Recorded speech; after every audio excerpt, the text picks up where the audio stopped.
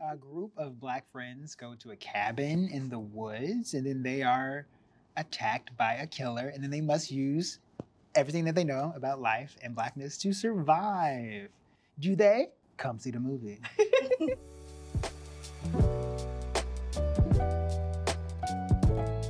I was sent the short, and it was like a really, really funny scene, which we kept in the movie. And it was like them arguing about who's the blackest. Empty out your bags, and whoever has hot sauce is the blackest. That's it, it's done. And like while their lives were being threatened, and, and it took itself seriously, but also didn't in a way that I just like loved. I loved the tone of it.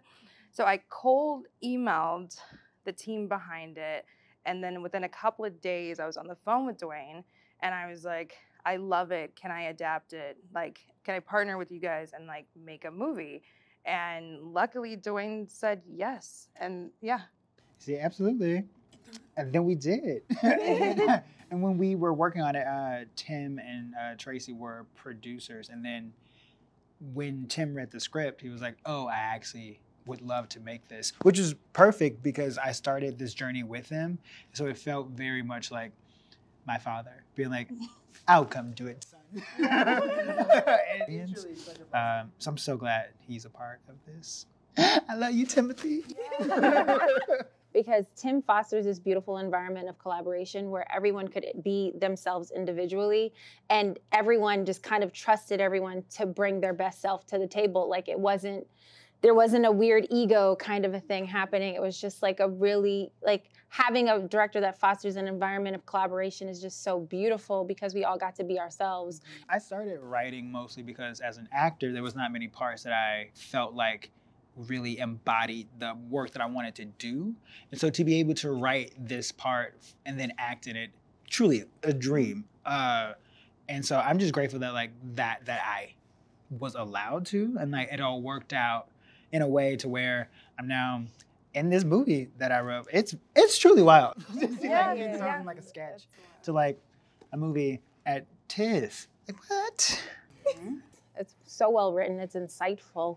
Um, the fact that we're having a conversation about the Black experience, but not excluding anyone. We're just kind of being ourselves, unapologetically Black, but also showing the world who we are, and not necessarily trying to pander to anyone. It's it's really beautiful how they decided to write these relationships as well. Like you usually you don't get a chance to see black joy and and people have a tendency to want to like digest trauma porn if that makes sense, but it's just so beautiful to see us have these joyful moments but then also come together and have terrifying bite of your nails like edge of your seat kind of moments that are hilarious and just fun and great, all of it when Bringing Down the House came out, a lot of people had something to say about Queen Latifah's character, right? Which I feel it's because a lot of black people, we are not a monolith, which we discuss in the film, but I do believe that these black women do exist. So Shanika is someone who is, you know, a little more, um, you know, not as tailored as the other characters, you know, like she comes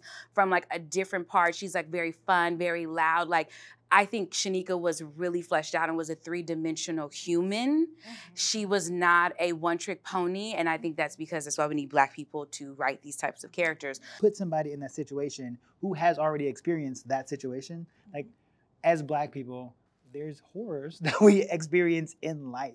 Making that pivot to horror for me felt natural because I was like, oh, it's kind of like comedy where you're just keeping it, the pace is like up the entire time and I just felt like it was kind of a natural like evolution for me.